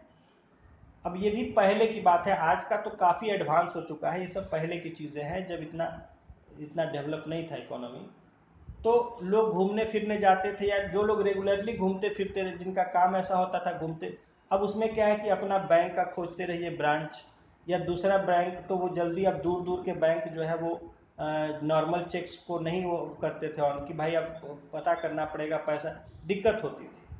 तो उनके लिए स्पेशल जो है ट्रैवलर्स चेक इशू किए जाते थे, जो आसानी से कोई भी बैंक उसको ये कर देता है ऑनर को मनी उसको कैश कर देता है। देखिए travellers cheque is issued by banks for convenience of passengers जो लोग पैसेंजर हैं, कहीं जा रहे हैं, उनके लिए इशू किया जाता है। Any passenger can obtain travellers cheque by depositing a fixed amount in bank कोई भी हम जमा करेंगे बैंक में तो वो हमें उसके बदले ट्रेवलर्स चेक दे देता है बैंक में। A fixed amount is printed in every travellers cheque और ये भी चेक जो है फिक्स्ड अमाउंट का होता है, जैसे करेंसी की तरह होता है, कि सौ डॉलर का है, दो सौ डॉलर अब मान लीजिए मुझे छः हज़ार डॉलर मैं जा रहा हूँ बाहर तो मुझे छः हज़ार डॉलर चाहिए। तो अब होता क्या है, कई बार कि कन्वर्ट कराइए एक्सचेंज करिए डॉलर में, ये करिए, वहाँ लाए, कैसे? तो उसके बदले हम जाते हैं स्टेट बैंक, मेरा अकाउंट है, मैं बोलता हूँ, भाई, मुझे छः हज़ार का ट्रैवलर्स चेक दे दीजिए छः हज़ार डॉलर तो उसके बदले जो पैसा है वो हमसे ले लेता है और पाँच पाँच सौ के या हज़ार हज़ार के जैसा उसको सुविधा रहे या सौ डॉलर के ट्रैवलर्स यानी एक ट्रैवलर चेक का मतलब है सौ डॉलर या पाँच सौ या जितने का उसका वैल्यू तो करेंसी की तरह इनका भी फिक्स्ड वैल्यू होता है, उसमें जितना होता है वैल्यू उस हिसाब से दे दिया जाता है उतना। Fixed amount is printed in every travellers cheque any other person can not use this cheque because specimen signature of the concern traveller is indicated on it उस पर क्या है कि उस चेक उस चेक को कोई दूसरा दूसरा व्यक्ति यूज़ नहीं कर सकता है, क्योंकि उस पर साइन किया हुआ रहता है, वही साइन वहाँ करना होता है। जहाँ आप ट्रेवलर्स चेक कैश कीजिएगा तो वहाँ वो साइन यानी आइडेंटिफाई अपने आप को करके बैंक से ही मिलता है। बैंक जो भी बैंक है सब, लेकिन अब ये सब का चलन चला गया इसलिए कि आजकल इतना मॉडर्न मीन्स आ गया आजकल तो मिनट, पैसा हर जगह एटीएम है, पहले का ये सब है, आज से पचास साल पहले का। इंडिया में तो मतलब कम होता था तो क्योंकि इतना इकोनॉमिक यहाँ नहीं था, होता था, देता था एसबीआई वगैरह सब ट्रैवलर्स चेक दिया करते थे, आज से 20 25 30 साल पहले।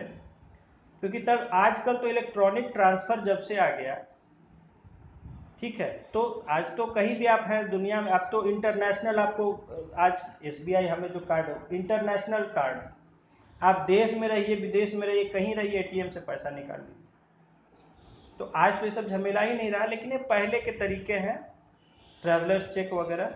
और अब है कि अब जैसे कहीं गए हैं, अब एटीएम खोजते रहिए। इसमें सुविधा होता है ट्रैवलर चेक कि आप होटल में होटल में दे दिए उसको जस्ट लाइक कैश कहीं भी हैं, उसको जस्ट लाइक कैश आप दे दिए। तो थोड़ा सुविधा तो होता है। तो बैंक से अपना ले लीजिए, अगर आप घूमने कहीं जा रहे हैं तो ट्रैवलर्स चेक ले लीजिए बैंक से अपना। वो बैंक आपको दे देता है, सभी बैंक देते हैं। अब तो सभी बैंक देते हैं। तो ट्रैवलर्स चेक जो है, वो कहीं भी उस पर साइन कर, रहता है साइन करवा लेता है बैंक और फिर आपको जहाँ जाइएगा तो वहाँ आप साइन करेगा और ले लेगा कैश की तरह जो है। तो ये भी काफ़ी आसान होता है कैश की जगह इसको नेक्स्ट इज़ प्रोमिसरी नोट ये भी एक तरह का होता है प्रोमिसरी प्रॉमिस से बना है प्रोमिसरी उस पर प्रॉमिस लिखा रहता है कोई नोट पर जैसे हमारा आरबीआई जैसे आर नोट पर हमारा आरबीआई का सिग्नेचर रहता है लिखा रहता है कि मैं धारक को इतना रुपया अदा करने का वचन देता हूँ। तो, तो ये तो करेंसी हो गया ऑफिशियल लेकिन लोग जो है बहुत सारे लोग अपना साइन करके रिट कर देते हैं कि हाँ इतना पैसा इसको दे दिया जाए। तो कहीं भी वो आपको कैश की तरह लोग उसको ऑनर कर देंगे कि हाँ भाई, उसको कहते हैं प्रोमिसरी नोट देखिए this is also type of credit paper a legal document between a lender and a borrower whereby the latter agrees to certain conditions for repayment of sum of money borrowed. ये एक legal document मतलब कानूनी कागज़ होता है, जिस पर कि दो पार्टी जो देने वाला है, उधार लेने वाला उनके बीच में कंडीशन होता है कि इतना पैसा जो है इनको दिया जाए। तो वो उतना पैसा वो एक उसको यूज़ कर सकता है। Today credit and credit papers are becoming more important और आज के समय में क्रेडिट की काफ़ी ज़रूरत हो गई है बिजनेसेस क्रेडिट क्योंकि हर जगह कैश ट्रांसफ़र करना, इतना कैश कैरी करना, वो सही नहीं होता है। तो क्रेडिट पर ही काम होता है। अकाउंट में मेंटेन हो जाता है। तो इस तरह से हमारा ये चैप्टर जो है, मनी, सेविंग एंड क्रेडिट, ये हमारा चैप्टर ख़त्म हो गया नेक्स्ट क्लास में हम लोग नेक्स्ट चैप्टर लेंगे that is our financial institutions ठीक है, ये नेक्स्ट क्लास में हम लोग इसको लेंगे। आज इतना ही इसको रिवाइज कर लीजिएगा अच्छे से। इन सब क्योंकि ये कंसेप्ट काफ़ी इम्पोर्टेंट है, समझना इनको ज़्यादा ज़रूरी है। ज़रूरी नहीं, सवाल तो आते ही हैं, लेकिन सवाल से ज़्यादा क्या है कि हमें ये अपन आसपास की इकोनॉमी को या क्या चल रहा है करंट मतलब बहुत सारी चीज़ों को समझने में ये मदद करेगा। डायरेक्ट क्वेश्चन आते भी हैं, चाहे नहीं भी आते हैं, लेकिन ये आपको इकोनॉमी को समझने में मदद करेगा, या क्या हो रहा है। आप कुछ करंट अफेयर्स पढ़ते हैं, जो भी कुछ है तो ओवरऑल अंडरस्टैंडिंग करने में ये कंसेप्ट आपको काफ़ी मदद करेगा। जिससे कि आप इश्यूज़ के बारे में, हालात के बारे में गवर्नमेंट के बारे में इकोनॉमी के बारे में समझ सकते हैं और उस पर कुछ लिख सकते हैं, कुछ बोल सकते हैं। तो मनी सेविंग्स एंड क्रेडिट हमारा जो है टॉपिक ख़त्म हो गया। Next topic will be our financial